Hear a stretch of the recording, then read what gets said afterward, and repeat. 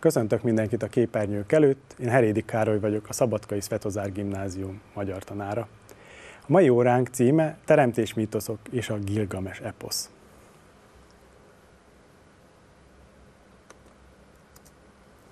Átismételjük, hogy a múlt órán mit tanultunk a mítoszokról. Azt említettük a mítoszokról, hogy a mítoszok epikai műfajok közé tartoznak, eredetileg népköltészeti alkotások, de azt is tudjuk róluk, hogy ezek műköltészeti alkotásokban, szépirodalmi szövegekben maradtak fenn. A mítoszok egyben világmagyarázatok is, nem csak szépirodalmi szövegek, tehát az antik embere az általa nem értett jelenségeket, társadalmi és természeti jelenségeket mítoszokkal próbálta megmagyarázni. Egyben ezek vallási szövegek is, a politeizmusnak, a többisten hitnek a dokumentumai.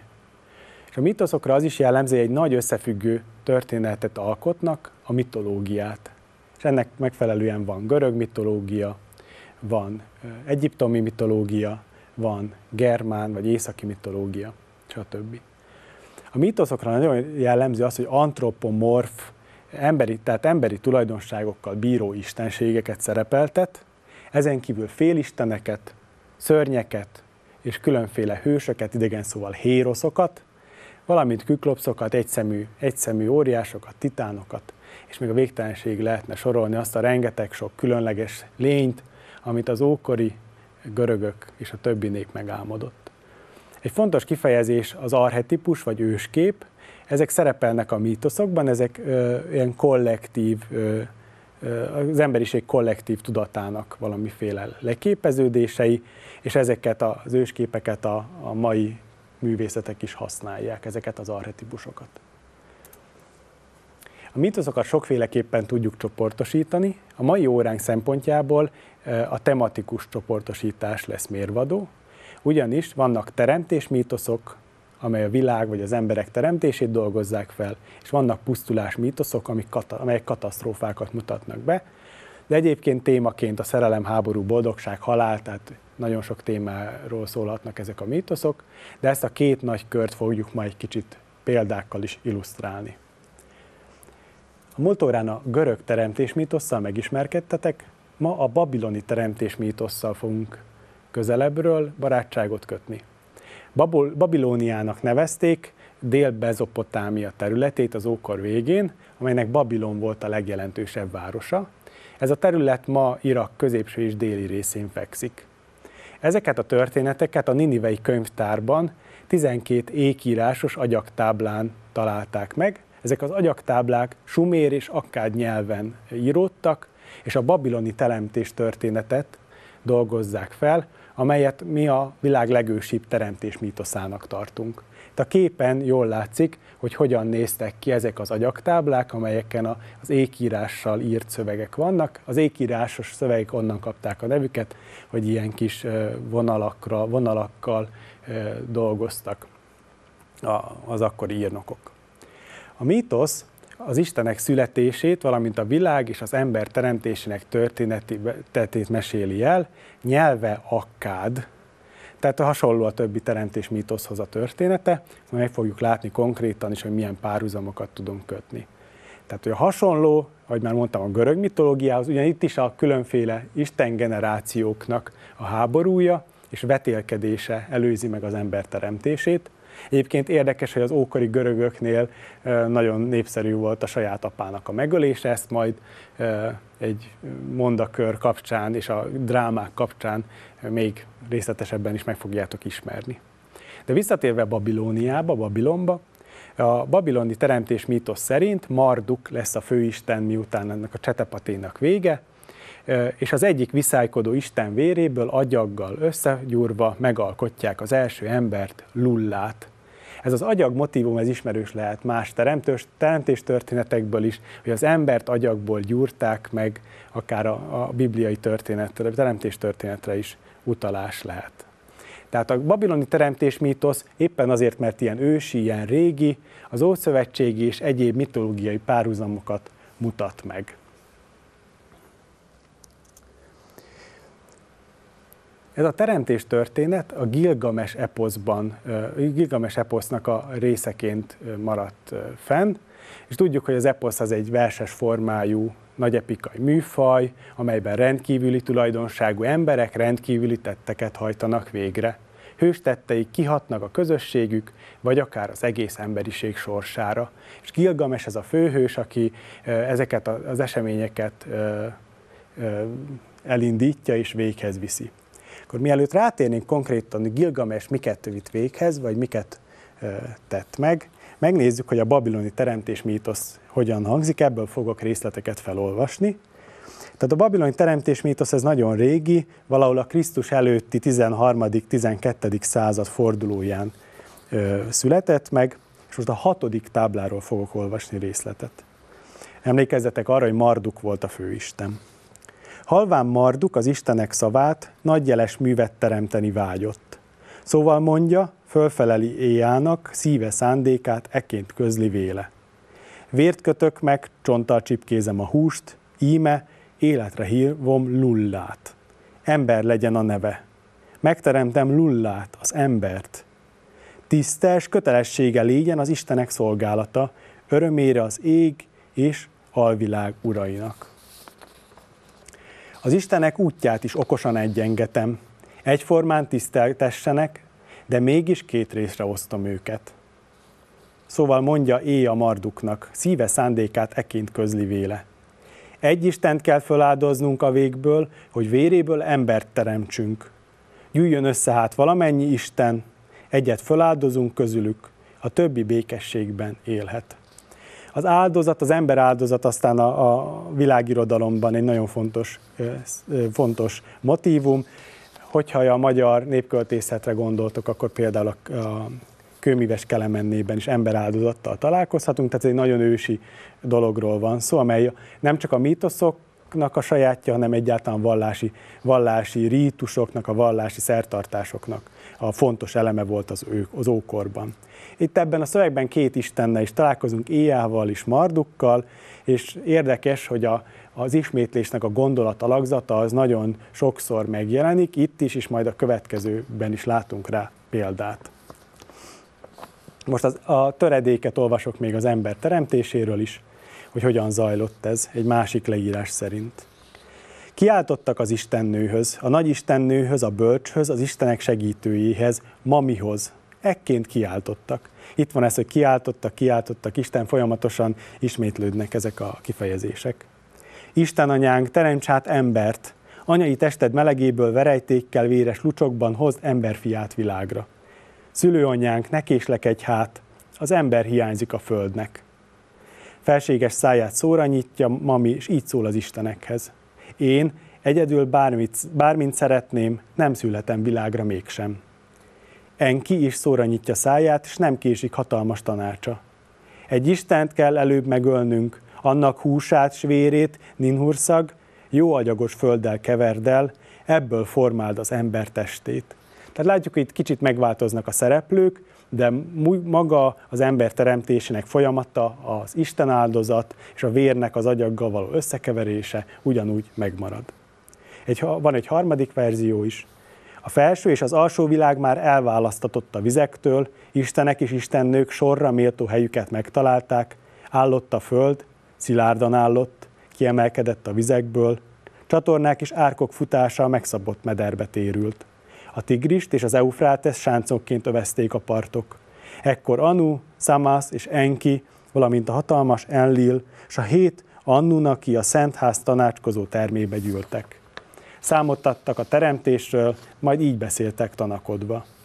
És utána egy ismét, hosszúbb ismétlés jön, ahol megint elismétlik azt a szövegrészletet, amit az előbb már olvastam, hogy a felső és az alsó világ már elválasztott a vizektől, tehát érdekes az elbeszélő módja ezeknek a történeteknek, előadja, hogy mit fognak majd a következőkben a szereplők mondani, majd pedig a szereplők szájából szinte szóról szóra ugyanazokat a szavakat halljuk vissza. Válaszoltak az Annunakik, a hét hatalmas istenasszony, a sorsteremtő Annunakik válaszolták az isteneknek.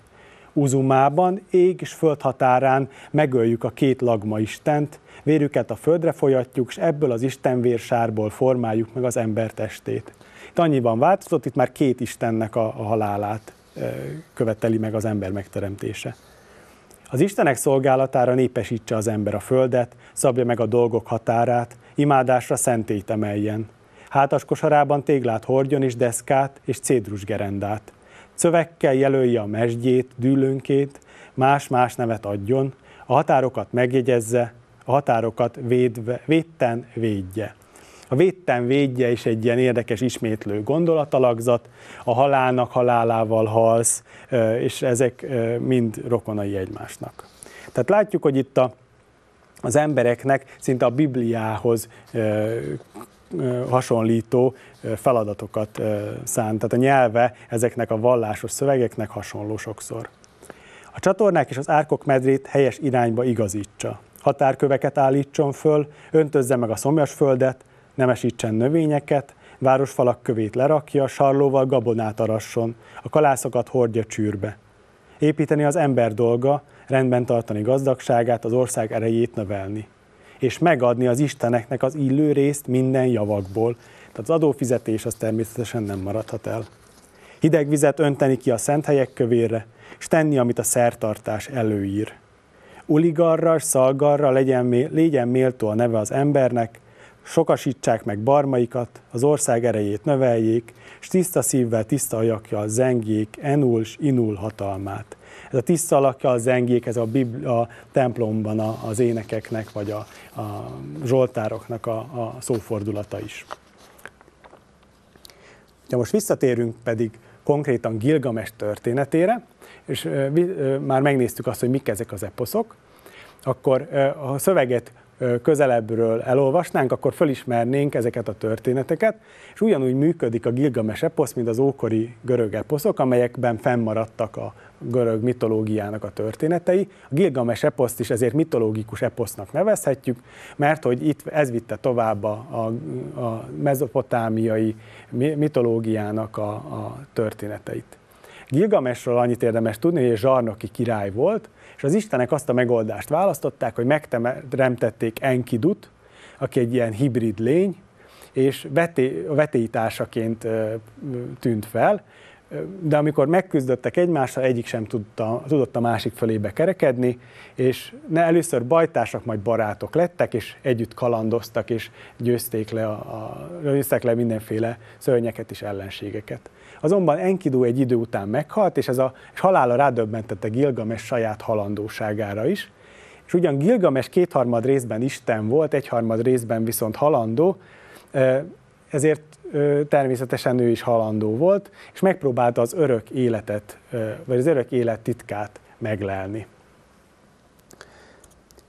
És a babiloni pusztulás történet a Gilgames eposzban úgy maradt meg, hogy Gilgames el, elment keresni a saját örök életét, és a történetet elmesélték neki. Tehát ez a motivum, ami fel fog tűnni, az a vétkes emberiségnek a megbüntetése, ez a motivum természetesen mindenkinek a Bibliából is ismert. Tehát a Gilgames történetére azt mondjuk, hogy ez az első epikus mű, és ebben maradt fent, ahogy már említettük, ez a mítosz, és azt is már említettük, hogy elhatározza, hogy megkeres az egyik ősét, Umnapisztit, akinek a neve azt jelenti, hogy rá lehet az életre, és ő volt az özönvíznek a túlélője, akit az Istenek együtt, az Istenekkel együtt halhatatlanságot kapott. Ez az Umnapiszti elmeséli az özönvíz történetét, ugyanazok az elemek, amelyek a bibliai özönvízben, a bárka, az állatpárok mind ott van, tehát Úrnapisztit nevezhetjük a mezopotámiai Noénak. A, viszont utána a történet végén a halál elkerülhetetlenségével szembesül Gilgames is, és ez a mai napig egy nagyon fontos eleme, témája, motivuma a, a, az irodalomnak. Mi vár ránk a halál után? Gilgames történetében Enkidu visszatér a más világról, és elmeséli Gilgamesnek, hogy mi történik az emberrel, ha meghal. Most akkor nézzünk Gilgames eposzából, történetéből egy részletet, mégpedig az özönvízhez kapcsolódót. Ez a Krisztus előtti talán 22. században, tehát még régebbi, mint a babiloni teremtés mítosz, ez is a 11. táblán maradt fenn. Gilgames így szólt a távoli útnapisztimhez. Elnézlek téged, útnapisztim. Nem vagy nagyobb, mint én, és szélesebb sem. Arcot hasonlatos az enyémhez, olyanok vagyunk, mint atya és fia. Nem más formán, embernek alkottak téged is. De amíg én nyugtalan vagyok, harca teremtett, te távol a küzdelmektől, hátadon pihengetsz. Mondd, miként vontak az Istenek körükbe, hogyan kerestél, miként találtál örök életet. Rejtett történetet tárok fel előtted, hallgasd az isteni titkot. Szurippak város, te is ismered, ott fekszik a Purratu mentén, ősidők óta az Istenek kegyeltje volt. Ám úgy döntöttek egyszer, legyen a pusztulás földje, özönvíz nyelje magába. Ott volt éja is, a vizek mélységeinek ura, s házam falának suttogta el ezt. Halljat ház, halljátok falak, ház és falak, halljátok és értsétek. Utnapisztim, szirupakki ember, ubara tutufia, építs hajót, helyez rá faházat, vesd el a gazdagságot, keresd az életet, vesd meg a birtokot, mesd meg az életet. Gyűjtsél hajódban magvakat, minden neműt, ügyelj az arányra, hosszúság, szélesség helyes viszonyára. Építsd meg hajódat, ne késsél sokáig, vidd el az édesvízű tengerhez, s lásd el tetővel. Tehát itt a mérnöki pontosságra intette az Isten, és figyelmeztette, figyelmeztette Gilgames ősét, az egyik Isten, hogy az Istenek el szeretnék pusztítani a világot, ugyanígy, ahogy Noét is Isten, csak ott egy Isten hitnek a kereteink belül Isten figyelmeztette. És vajon mit csinált ez az úrnapisti? Lerajzoltam a hajó tervét. Házam népe nyüzsgött körülöttem, az erős fát hozott, hibátlan törzsűt, a gyenge aszfaltot kevert. Samas havának ötödik napján készen állt előttünk. Magassága 33, mérődnádnyira ért föl, és ugyanennyire szabtam meg a szélesség tetejét is. Szélességét tetejének is. Hat szintűre terjedt, emeletenként kilenc rekeszesre, közepét cölöpök tartották, réseit aszfalttal tömítették. Három mérő olajat hoztak a teherhordók ekkor, és még áldozni valót is hozattam. Kosarakban birkákat öltem napokon át, mustot ittunk és szezámbort víz helyett. Ünnepet ültünk, vigadoztunk, mint a napforduló idején. Amim csak volt, mindent berakottam, aranyam, ezüstöm, valamennyit, életmagvakat, amit csak termett, az asszonyokat gyermekeikkel, s rokonaimat velük együtt. Vittem kézműveseket is, végezetül betereltem a mezők vadjait, szárnyasait. Az Isten kijelölte az időt. Estem időn a sötétség urai esőt zúdítanak alá, menj a hajódba, zárd le az ajtót. Eljött az idő, adad az úgó Isten iszonyú vizet zúdított alá, Néztem az időt, elrettent, aki látta. Bemenekültem a hajómba, ajtaját bezártam, és átadtam a bárkát kormányosomnak. És jött a hajnal, fekete felhőt akarta az eget. Adad mennydörgőit a közép, közepén, stb. stb. Tehát leírja, hogy hogyan pusztult el a világ, hogy zúgott a vihar, hogy az embereket elsodorta, és hogy testvér nem ismert többé testvérére, stb. stb. Tehát ugyanolyan történet ez, mint a, bibliai teremtés mítosz. Itt is az a motivum jelenik hogy madarakat küld el, hogy megnézze, hogy elvonult-e már az ár. A fecske az visszatért, a holló nem tért vissza, és innen tudták, hogy, tudták, hogy levonult már az özönvíz. És utána, amikor az Istenek találkoznak velük, a főisten azt mondja, hogy miféle emberi lélek menekült itt meg, halálnak szántam valamennyit. Tehát, hogy az Istenek között sem volt egyetértés, ugyanis az Istenek többsége úgy gondolta, hogy miért küldtél vízözönt a földre. Aki bűnös, viselje bűnét. Aki vétkezik, bűnhődjék érte. A gonosz pusztuljon, ne valamennyi. Küldtél volna az áradat helyett oroszlán, pusztítson közöttük. Küldtél volna az áradat helyett éhínséget, hogy megalázza őket. Küldted volna az áradat helyett irrát, a pestisest. Tehát ez figyelemre mértó, hogy itt már megjelenik az, hogy az embereket nem lehet bűn, egyes emberek bűnei miatt kollektíven megbüntetni, minden egyes ember a saját bűneiért kellő felelősséget vállaljon. És azt is elmondja itt a Gilgames őse, őse, hogy csak akkor van esélye Gilgamesnek az örök életre, hogyha talál egy pártfogó Istent, aki őt fölemeli a hatatlanok közé. Nagyon röviden átnézzük még, hogy a Biblia teremtés története hogyan alakul, hogy tudjuk, hogy hét nap alatt teremtette meg Isten a világot, és a hetedik napon pontosabban már megpihent. A görög teremtés mítoszt múlt órán átismételtük, vagy átvettük. A Kaleval a finn teremtés mítoszt tojásostól, kacsástól pedig általános iskolában már tanultátok. De azonban a teremtés a Biblia alapján nem fejeződött be magának a világnak a megteremtésével, hanem az ember teremtésével indult a második teremtés történet, amely a bűnbeeséssel, vagyis a harmónia felbomlásával folytatódik. Utána, a növekedett a bűn, ennek a legjellegzetesebb példája Éva gyermekein, Kainon, a földművesen és Ábelen a juhászpásztoron keresztül lesz értelmezhető, ugyanis mindketten áldozatot mutattak be Istennek, ugyan, ugyan, azonban Isten csak Ábel áldozatát fogadta el, és ez volt a világtörténelem első gyilkosság, amikor Ábel megölte, és Káin megölte féltékenységéből a testvérét Ábelt, és ez a civilizáció és a történelemnek a kezdete is, és ennek az egyik egyenes leágazása lesz a vízözön, amikor úgy eluralkodik a bűn a világban, Isten úgy dönt eltörli az emberiséget a földről. És Noé ugyanígy Ádámnak és Évának a leszármazottja természetesen, mégpedig, mégpedig harmadik fiúknak, Szétnek a, a, az, ő, az utódja, és Noé három fiától származik majd az egész emberiség. És az őstörténet, a bibliai őstörténet Bábel tornyának történetével fejeződik be, amikor az emberiség összefog, hogy Isten ellen vonuljon, hogy elérje az isteni magasságokat. És itt emlékezzetek a bábeli, bábeli nyelvzavarra, az űrzavarra, amikor Bábelben összezavarta Isten az emberek nyelvét, és onnan kezdődött a, a, a nemzetek, a népek, a nyelveknek a, a születése is a történelemnek egy újabb lökete, amikor a, az emberek már e, ilyen csoportokba rendeződtek. És most szépen visszakanyarodtunk itt az óra végén Bábelhez, Gilgamestől, a, a Biblián keresztül, olvasni valóként Orbán Otto a világteremtés és egyéb badalságok című nagyon szórakoztató és a Digitális Irodalmi Akadémián elérhető uh, irónikus művét ajánlom. És nagyon köszönöm a figyelmeteket, további szép napot és jó munkát!